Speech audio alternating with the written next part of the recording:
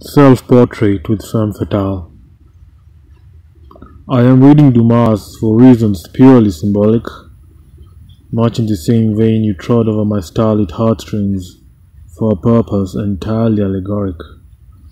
The two tales of the tale having thus been flailed, certain elements previously veiled as if by a haze attain remarkable contrast, coming into focus coincidentally if not necessarily.